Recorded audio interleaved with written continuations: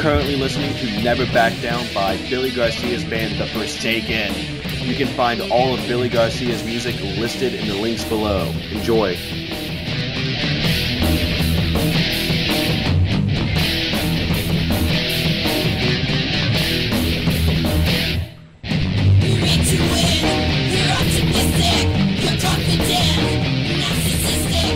Hey everybody, Colin Connors, host of the Survivor Org podcast. We've got a very special guest today from Survivor Cook Island, Mr. Billy Garcia. Hey Billy. How you doing, Colin? Just forget it. It'll never happen. Never come to pass. No chance in hell. I'm doing great. How are you? I'm wonderful, thanks. All right. So, what's going on in your life right now? Uh, my band is uh, taking off pretty good. We're gonna start booking gigs, uh, starting uh, with a few dates in November uh, and December, and then we're gonna hit the ground running come the new year. Uh, my movie, The Infernal Room, is out, so all you people that are into crazy horror movies, that's out there. And you know, I'm back in the pro wrestling thing as well, so just stay tuned on my Facebook and catch the dates of when I'll be body slamming my next victim. Oh, I didn't even know you did pro wrestling or about the movie. What's the movie? Uh, what role do you play in the movie?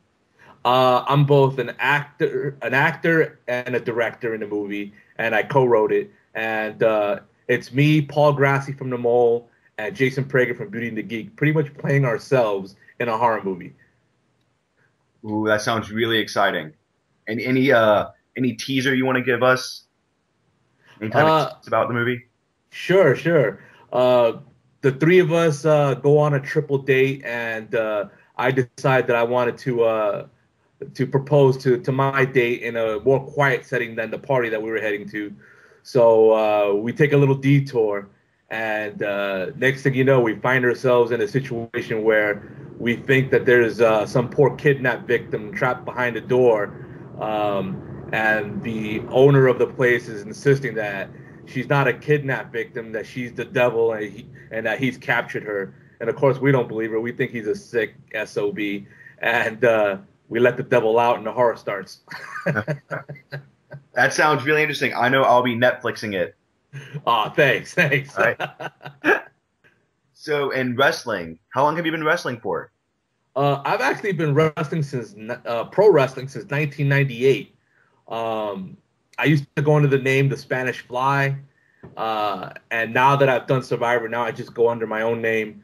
Uh, but yeah, I've, I've wrestled uh, in matches with a lot of legends like uh, Scotty Riggs and uh, and the Honky Tonk Man, as well as wrestled other survivors like Johnny Fairplay and Mookie Lee from Survivor Fiji. Well, yeah, I was about to ask about that. Who won, you or Johnny?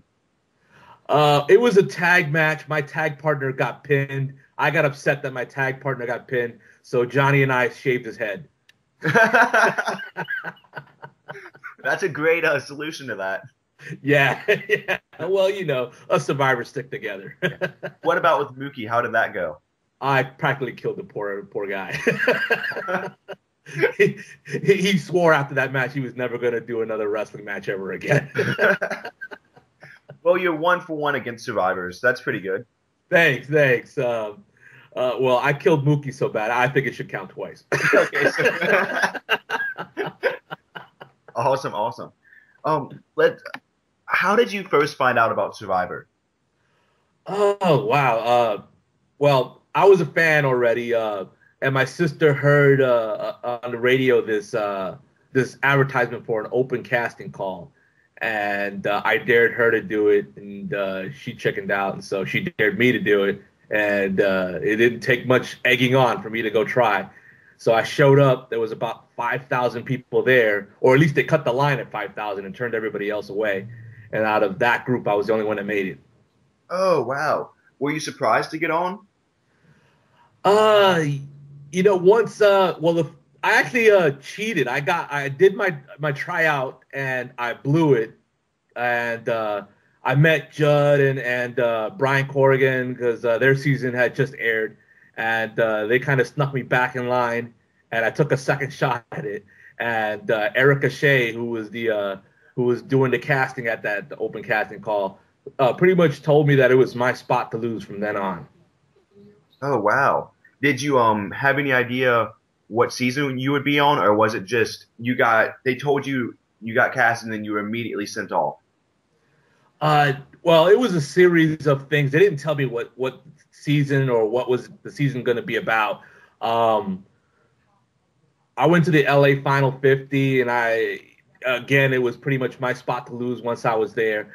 And uh, at that point, the uh, Exile Island had just finished airing, and so I knew it was going to be the next season was going to be in the Cook Islands. But uh, it wasn't until the night before the game started that they told us that they were going to divide us up by race. How did you feel about that? Uh, they separated us one. Uh, they took each of us one by one over to Mark Burnett and Jeff Probst and told us in private so that our reactions wouldn't work against us. And it was a good thing for me, I guess, because my reaction was, you know, it's great for Survivor. You guys are going to get a lot of ratings. It sucks for me because now I have no shot in hell of winning. I, am like the most le- least looking Hispanic in the history of the Hispanic race. So. well, I mean, like I'm looking at JP. JP didn't look that Hispanic. Oh, JP. JP went out of his way. JP told us the story of how he got his name JP. Uh, he was born Juan Pablo, and he thought that was so stereotypical Hispanic that he couldn't stand it. So he changed his name to John Paul.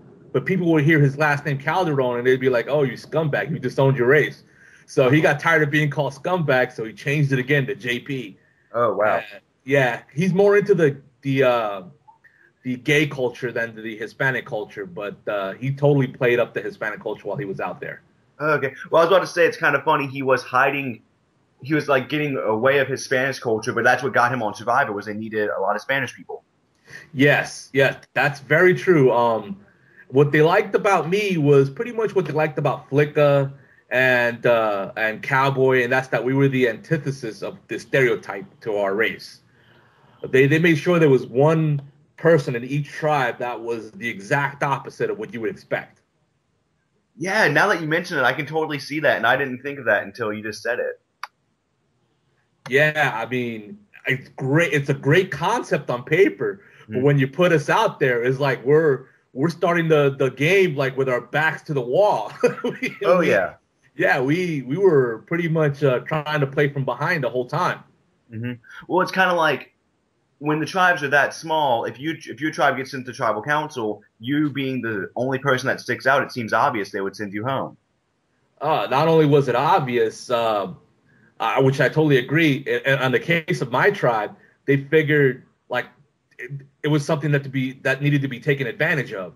They didn't want to wait until I was out in the open, as Ozzy put it in uh, in, at tribal council at this uh, you know one of the unaired parts of tribal council. He explained uh, that they were concerned that once uh, I got myself out of the situation, that they would they wouldn't have another chance to get me out. So they felt they had to throw the challenge. They had to do what they did. Otherwise, there'd be no chance later.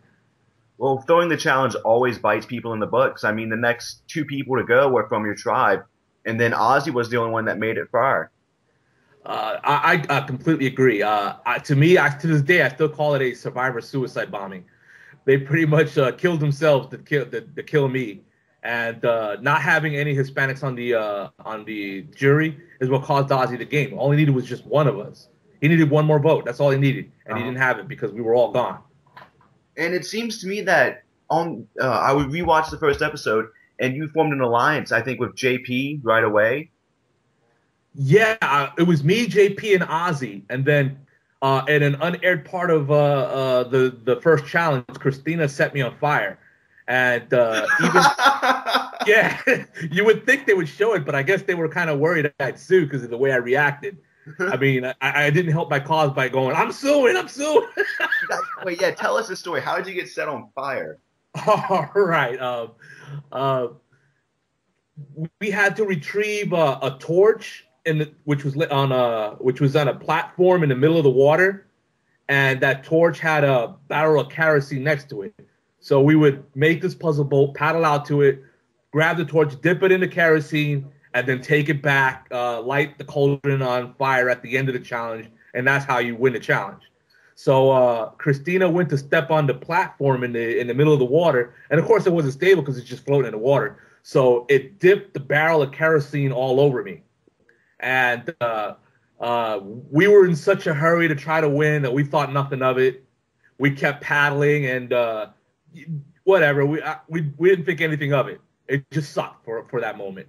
So Uh-huh. fast forward to the towards the end of the challenge, we're climbing up the ladder to get to the top of the platform to light the cauldron, and the rule was that the the torchbearer had to go last. That was just the rule.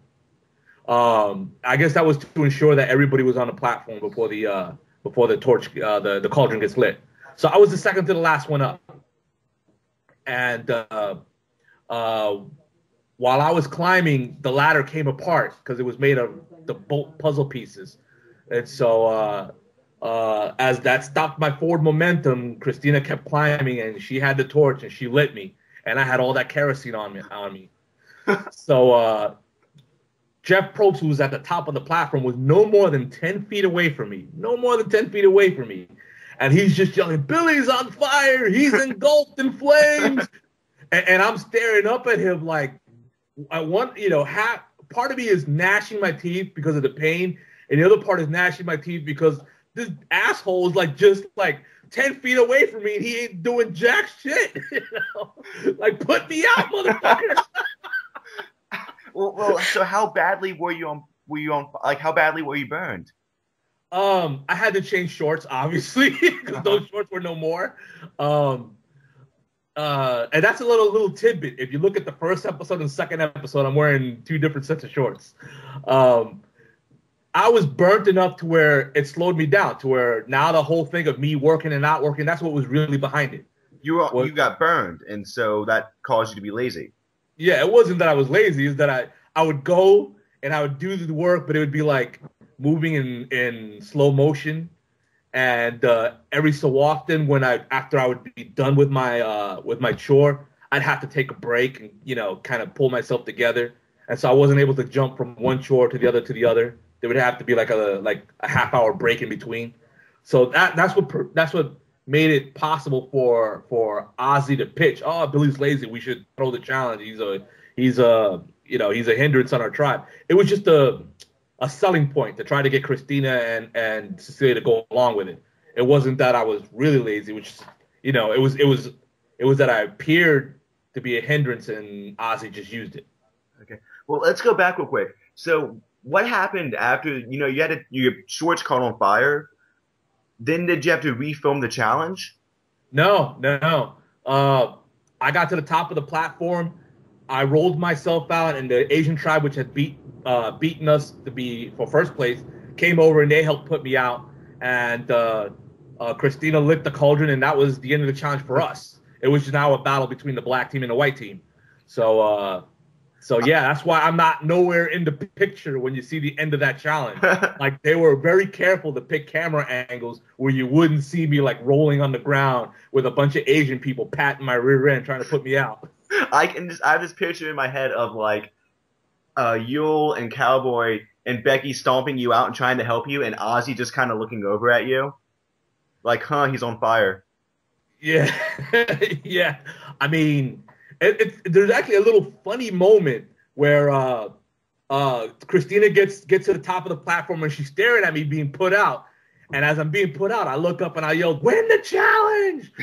So she goes and she lights the cauldron, and uh, Ozzy and, and, and JP are like, "Yeah, we won!" And then they kind of they kind of freeze, like freeze frame, and then they kind of look over to see if like I'm like about to jump them and beat the crap out of them, because uh, they were the ones that constructed the ladder in the first place. So oh, that's a, that's a great story. Um, so how do you feel about Ozzy personally? you know, Ozzy and I get along, but there's always, I think there's always going to be that little underlying tension. We, we see each other at a lot of different uh, reality charity events. And, uh, you know, we shake hands, we have drinks together, and I think we get along better after drinks. But, but, uh, yeah, I think there's always that underlying tension. Like, he's, he's always going to remember that he screwed me enough that he doesn't want to, like, push his luck and say the wrong jokes around me, you know. Okay. and then at the same time, I'm on the other end to where he screwed me enough to where, yeah, we're friends, but if you screw me again, I'm gonna make a cement block out of this guy and leave him at the bottom of the nearest large body of, of water. So there's always that tension, you know. Okay. How do you feel about him getting three chances to play? You know, I, I, to, to be honest with you, it was very apparent to me uh, this, the first day that we got out there that this guy had professional training. Like I'm a former Marine, I know what it's like to be a guy, an average guy that comes off the couch, and a guy that's gotten professional training. So I could tell the difference, and you know, I- it was just very evident to me, like, uh, okay, this guy got like pros to help him, and who who who would hire these pros if it's not Survivor? So, Yeah. you know, at, on one hand, I was like, well, good for him. I'm happy. He's he's gonna be like the Mike portrayed as the Michael Jordan of Survivor, and I was right. And Oh, on the other hand, I was like, oh, further proof that I was screwed to begin with. That you know they they picked a pro wrestler because they knew a pro wrestler would would likely keep his mouth shut and just do the job and be happy, just be happy and get a paycheck. Yeah. Cool, cool. Well, um, this is something. uh, When a lot of people talk about survivors for a second chance season, your name comes up. Would you go back? Yeah, I would go back. Um, uh, you know, I think I think the fans would, a they would smack the bejesus out of me if I were to turn it down. Yeah, we want to see you back. thank you. I speak for all the super fans. We want to see you back. Aw, thank you, thank you. And uh, uh, B, to be honest with you, I, I felt like I had no chance before my feet ever touched land. My fate was decided, and so, you know, I'd like to play a survivor where I'm on equal footing, where where it's you know it's everybody has an equal shot at, at winning. Oh yeah, I can definitely see that.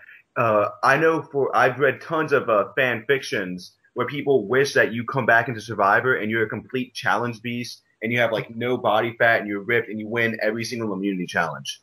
Thank you, thank That's you. That's what we want to see. Thank you. Uh, to be honest with you, they didn't edit it this way, but that first challenge, I was a challenge monster. A, I deciphered tree mail, which nobody else in that game in Cook Islands was able to do. I was the only guy to be able to decipher tree mail, and David Burris was the one who told me this after the fact. It's like you you figured out tree mail both times exactly the way we had planned out the challenge. The only guy to do that, and I think he said the only guy to do that since pre All Stars. Um, Wow. and uh, at least to that point, to Cook Islands, because he told me this backstage uh, of the finale show. Uh, and then the second thing is, I was the guy who came up with the strategy of who did what and putting people in position to to to be successful in that first challenge. And I was the guy who put together the first, the, uh, not the first, but put together the puzzle boat. Uh, they showed they, they showed a bunch of stand-ins putting it together all at the same time, like all five of us putting it together. But the way it really went down, it was JP tried it for about 10 minutes, and uh, uh, Jeff Probst was like, the Aitu tribe was falling out of it. So I was like, all right, you had your shot, JP. Now it's my turn. And in 60 seconds, I put it together. Cool, cool. Um, so, you know, when it comes to puzzles, they didn't show it. Puzzles, riddles, that sort of thing. That's my forte. That's where I would kill. Um, balance because of my pro wrestling. That's another area where I would kill. Well, um, this is something I rewatched the first two episodes of Cook Islands today, and I noticed that in the challenge that they threw, if they wouldn't have thrown that challenge, you guys would have easily beaten the uh, Yellow Tribe. You know, to be honest with you, we'd have easily beaten all of the tribes because we sat and read the book, and even though nobody else did, and then we caught up to everybody, and then that's when the, throw started to happen. That's when uh uh they wrapped. Up. We were all chained up, and they one of them wrapped themselves around uh, part of the obstacle to where I couldn't pull everybody, and uh, I pulled people for about 15 minutes, and I used up all my energy to try to pull people through the obstacles, but they were they had wrapped themselves up in that obstacle, so you know, for me to pull them, I would have had to like break the wood of the obstacle. Mm-hmm. So uh, that's why I, towards the end I had like zero energy. It was from 15 minutes of nonstop tug of war. Oh yeah. Well, it's to me, it's just so disappointing watching a, a tribe throw a challenge like that. Yeah, I mean, you tune in to see a competition, You don't, you know, you want to see people win and lose legit. You know, nobody wants to tune in and see see somebody lay down and die. To me, throwing a challenge is as much of sin as somebody quitting. Oh yeah, I, I agree. And what I love is that in Survivor history, every time a challenge is thrown, it has never worked out for those people that threw it. Yeah, because people think because they they watch like Big Brother and it almost it seems like almost always works out in Big Brother, but it never works out in Survivor. And I say that's because in Big Brother, the only person that that deals with consequences is the person who throws a challenge, whereas in Survivor, the entire tribe deals with the consequences. Mm-hmm. So it's easier to cover one person's ass than it is, let's say, in my case, five people's asses. Oh yeah. Um, have you been keeping up with current seasons of Survivor? I never miss an episode. You never miss an episode. All right, cool. Let's talk about uh, Survivor Philippines. All right. Are you enjoying it? Uh, well, first of all, let me just say I wish to God every episode was 90 minutes. Yes, I completely agree with you. It makes the show so much better. Yeah, because in the in the one hour format, it's like the aftermath of of of uh, uh, of tribal council, the challenge, tribal council. That's it. And the end the episode. With the 90 minute episode, you get to see all the stuff that happens that that explains why things turn out the way they do. Plus, you get to meet the people. Oh yeah. Who's your favorite person so far? Well, I'm biased toward Jonathan Penner. So besides him, Wait, so uh, do you like Jonathan or do you hate Jonathan? I love Jonathan. You Penner. love Jonathan? I loved him back in my season. Mhm. Now, honest to God, if I wouldn't have got eliminated uh, when I did, let's be serious. The uh, the the uh, uh, the pick for the blue tribe was just nothing but beefcakes because that's just what Brad liked. You know, he's a gay guy. He likes his guys nice and meaty. So I would have ended up on, on Jonathan's tribe. It would have took Jonathan maybe one sentence to convince me to go with them. Oh wow. because that's how good he is. But I would have convinced Jonathan, like, to not go with Yul, not go with Becky because they're inseparable. I would have convinced Jonathan to, to take to take Cao Boi and take Flicka because they're they they just did his bidding, no questions asked. hmm That would have been a completely different game. Completely different game. Plus, you wouldn't have had the uh, hidden immunity idol because we wouldn't have threw the challenge. I was the one who sent Yul to, to Exile Island. Uh So he wouldn't have had it. It would have been in somebody else's hands, probably Jonathan's. so I think I think uh, that thrown challenge cost Jonathan the final three. oh wow. Cool. Cool. That's good insight. Um, what do you think of uh, Mike Skupin? Mike Skupin is the same crazy sob I've always known him to be. Uh, I've known him outside the game uh, for years, and uh, that dude. And I've wrestled with him, by the way. I, I, I was in a battle royal with Mike Skupin, and uh, Oh wait, who did you win? Uh, no, uh, Maven from Tough Enough won, which was uh, it, the, the whole battle royal with nothing but reality stars, and of course the reality star that did a TV show of pro wrestling won. That makes So- sense. Yeah.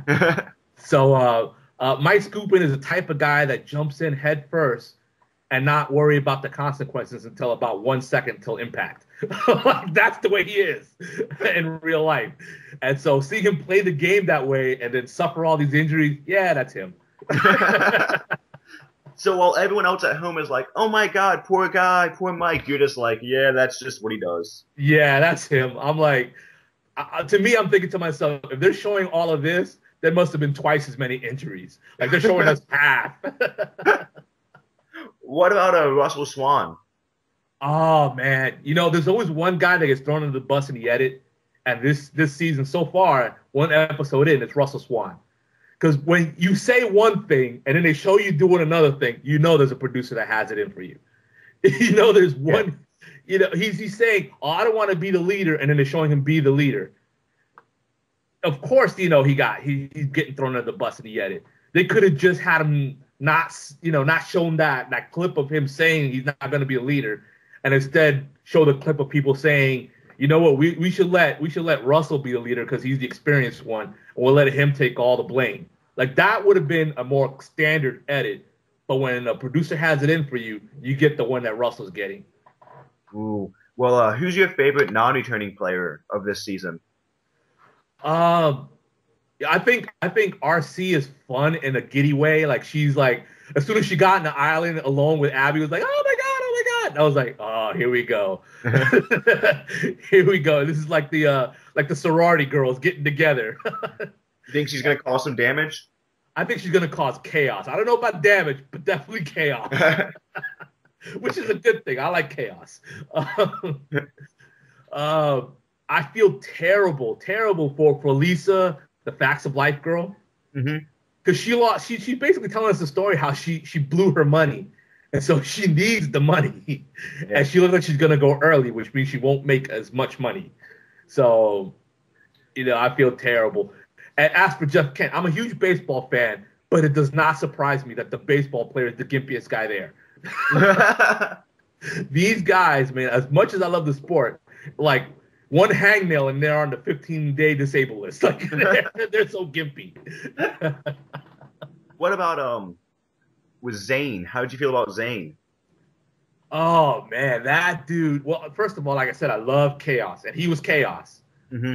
He he did basically what I did when he felt like he had no shot in hell. He gave himself every shot in hell as far as like doing a doing a, a, a an alliance with every person on his tribe. Like that's basically all you can do is when you think you have no shot in hell, is to just basically take shots in the dark and see what sticks. Mm-hmm.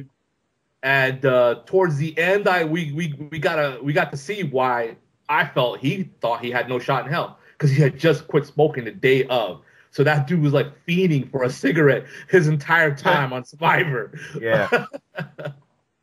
you know, and I think that's what made him crazy. That's what uh made, gave him all those mood swings where he was on a super high, super low, and and he asked to be voted out, and I think that's really what did him in. I think, um, yeah, you know, I think he did something us guys do a lot, like when we're out in a bar and we're rapping to a girl, and then we say something stupid, and then we're like, oh yeah, we meant to do that. Like that's what Uh-huh. Zane did. Yeah, exactly. That's exactly what he did. Yeah. Yeah. oh, I meant to sound stupid to you, baby. yeah, exactly. So he was like, yeah, I, I meant to ask to be voted out. It's just my brilliant strategy. Uh-huh. Because that's the thing is, I don't know how brilliant any strategy can be if it involves people like thinking about voting you out. Yeah, yeah. I subscribe to the to the to the Sandra Diaz uh, uh, school of of Survivor, which is which is point your finger at the person next to you, and if they look at you, just take their face and force them to look at the other person. well, that is a great strategy. She is uh, the only two-time winner. she did it without without being a hard worker, without being any good at challenges, with with never keeping her mouth shut. She was always the loudest person on, on our tribe. Uh, she she basically took the uh the the the Survivor textbook and wiped her butt with it and threw it away, like, and won twice. Well, it's interesting because you look at challenge dominators like Colby and Ozzy, and they haven't won at all. Then there's someone like Sandra who has never won a challenge, and she's won it twice. never won a challenge, never lifted a finger around around uh, camp, and uh, and and she had no problem getting in everybody's face. So I mean, what all this idea of like if you keep your mouth shut, you'll make it to the end, or if you work hard, you'll make it to the end, or if you kick ass in challenges, nobody can beat you. I mean, all these schools of thoughts, uh, she she just proves them all wrong, and that's what I love about her. oh yeah, I completely agree. I think she's an amazing player. I'm gonna name off a couple other survivors, and I want you to tell me how you feel about them. Okay? All right.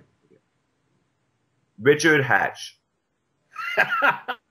He's been bamboozled. That's my all-time favorite line on Survivor. I've been bamboozled. you know, he's a quote machine. I- I'll tell you that. Um, he played in an era where it was character-driven. It wasn't game-driven. He just had to play enough. That's all to to, to win. In fact, uh, you had an entire tribe not really playing, thinking that oh, it's it's a terrible thing to gang up on someone, and you had another guy with the alphabetical voting strategy, which to this day I swear is the all-time worst strategy. Nobody can change my mind.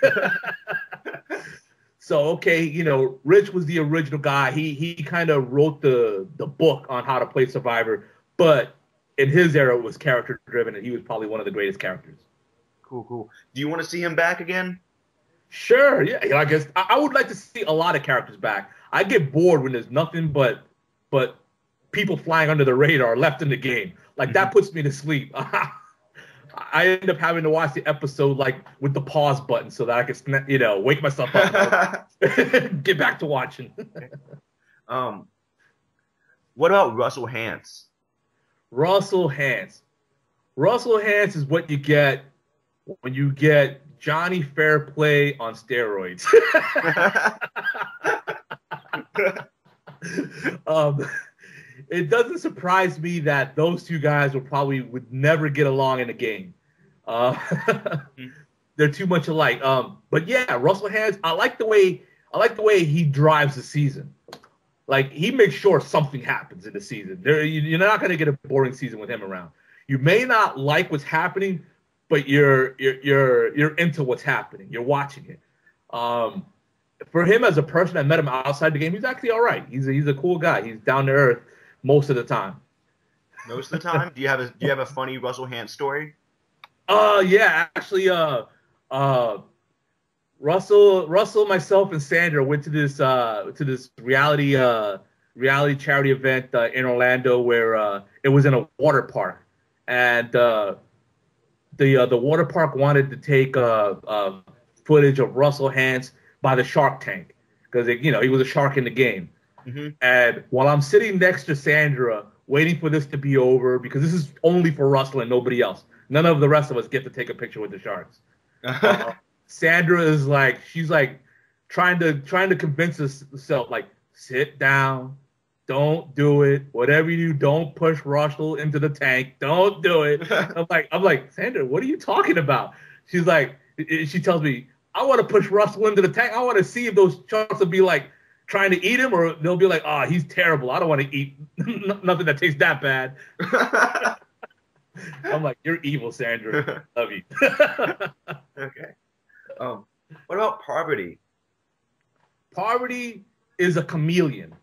In the first game, she was a seductress. In the second game, she was a manipulator. In her third game, she was a challenge monster. She's a chameleon. You never know what kind of game she's gonna play. She's probably the best chameleon to ever play. And uh, as a person, uh, she's she's very much a sorority, happy-go-lucky girl. hmm Do you have any funny Parvati stories?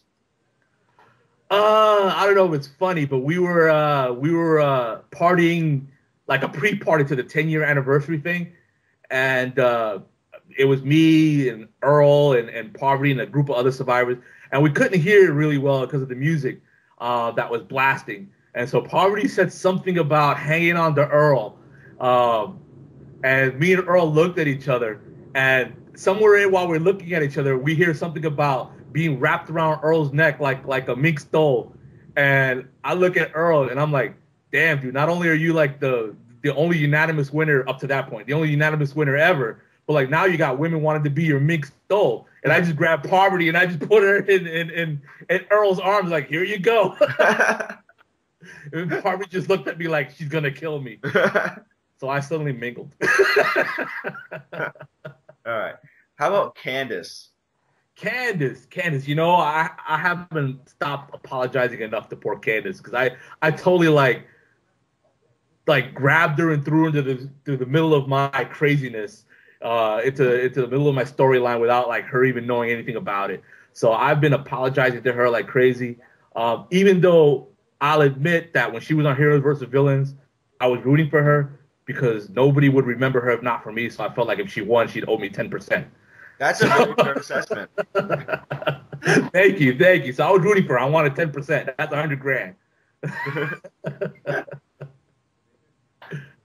Well, I think the whole Candice thing is um pretty. I mean, it's just funny to look at it back at it in retrospect. You know, it was just a nice little moment of the season, kind of. It gave life to the pregame, or to the pre-merge of your season.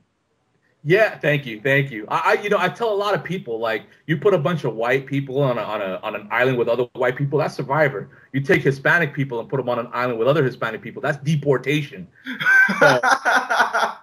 Every Hispanic knows the best way to become American is to marry a white woman. And Candice was a white woman. and you were like, you saw her, and you're like, I'm marrying you. Damn it. yeah, I'm like, I want to be American again. So uh, hey, that's so that's why, why I feel like I didn't lose. 'Cause, like here I am, I'm in America again. Exactly. Exactly. Who is your uh, most favorite winner of all time? Most favorite winner of all time. That's a toughie. Uh, you know, I'm gonna go with uh with uh Bob Crowley. Really? He- Yeah, yeah, Bob Crowley, because uh, he's a he's the oldest guy to ever win.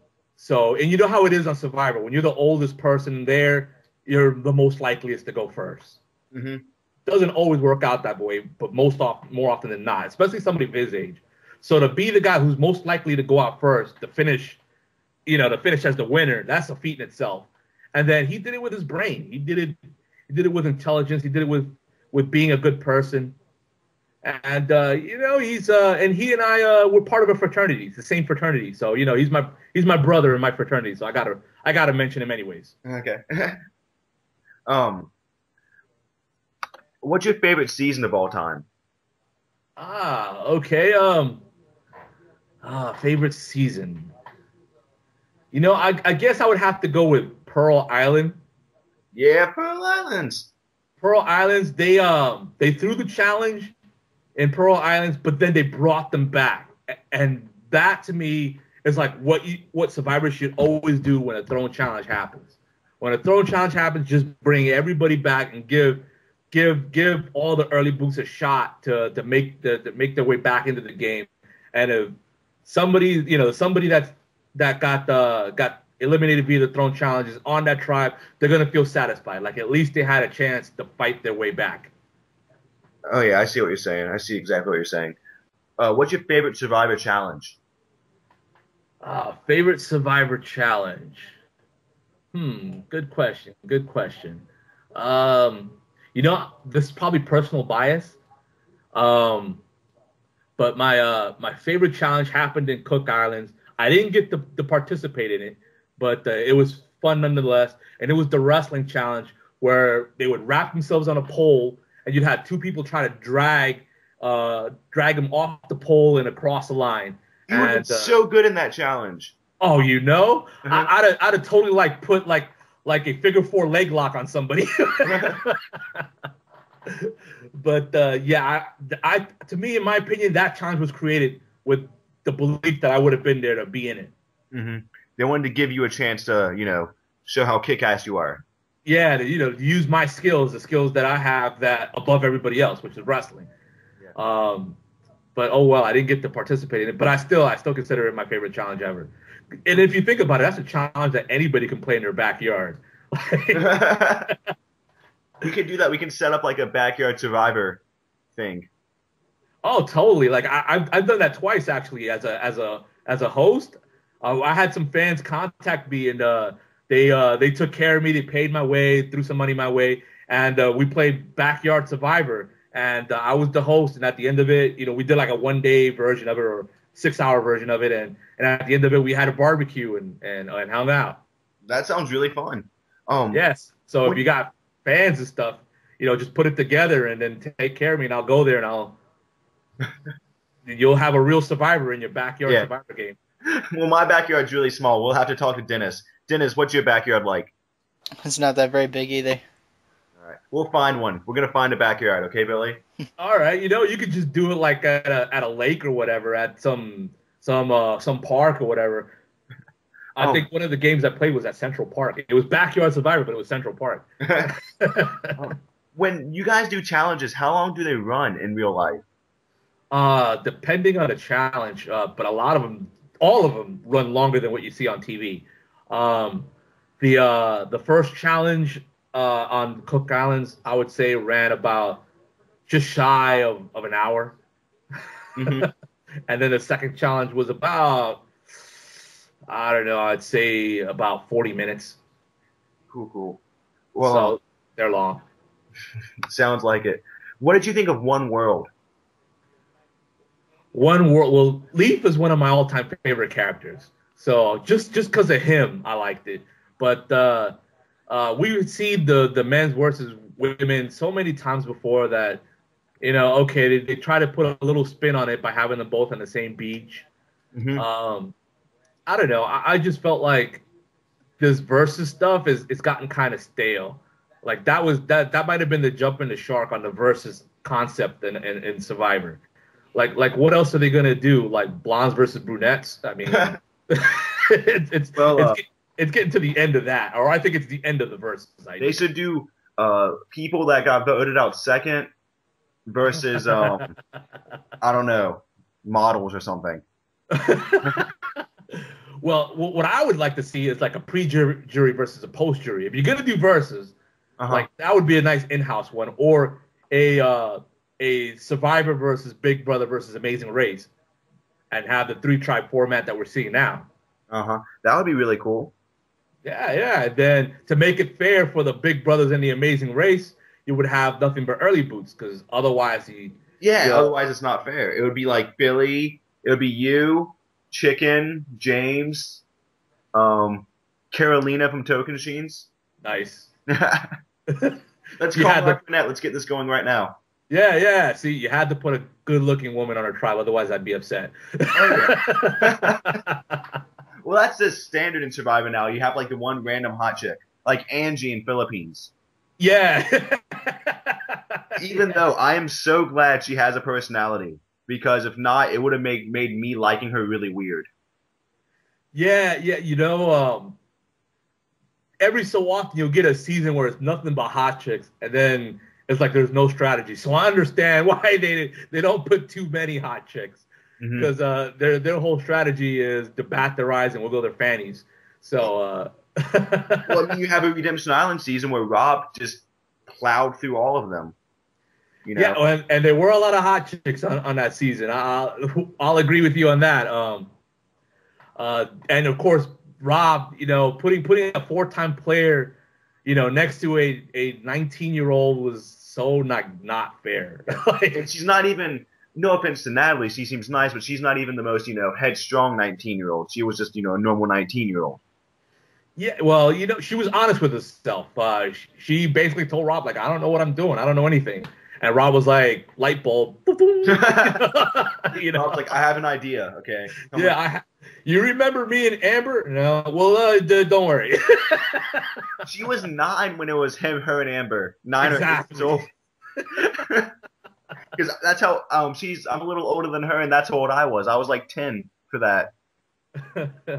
I mean, but don't get me wrong. To have to have 15 episodes of Natalie Tenerelli was all right by me. I was okay with it.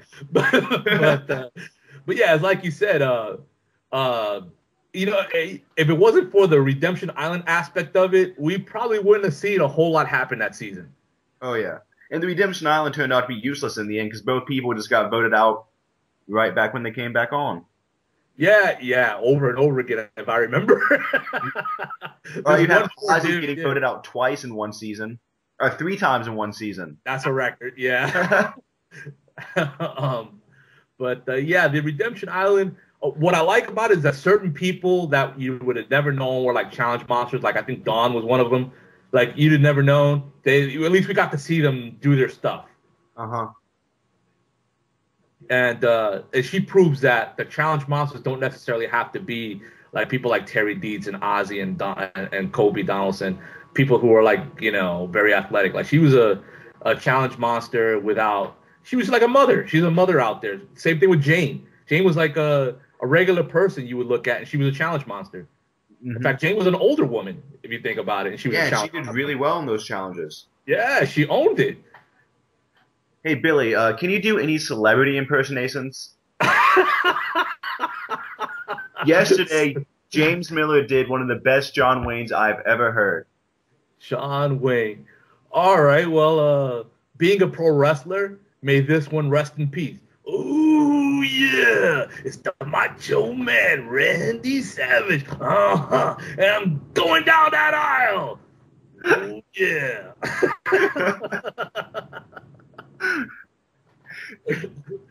I don't know if that was any good, but That was pretty good. Dennis texted me and he said he approves, so okay. and it's approved, so it's good.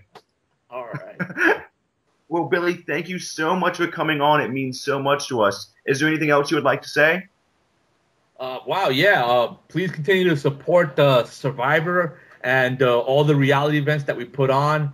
Uh, our next one is in October uh, 11th to the 14th in Virginia. So visit realityrescue1.com, one being the number one. And uh, we're also be we'll be heading to Temecula next April and uh, Orlando. So check out those as well. Uh, realityrally.com and hearts heartsofreality.com. So uh, yeah, keep supporting. Come out, meet us, find out all the real stuff that happened behind the scenes, and uh, and and it's as cool for us to meet the fans as it is for the fans to meet us. I'm a fan of the fans. So. well, thank you again so much, Billy, and thank you, listeners. All right, thank you for having me on, and keep on rocking.